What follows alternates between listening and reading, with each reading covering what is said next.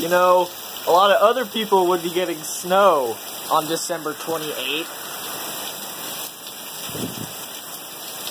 I freaking hate Texas sometimes, you know?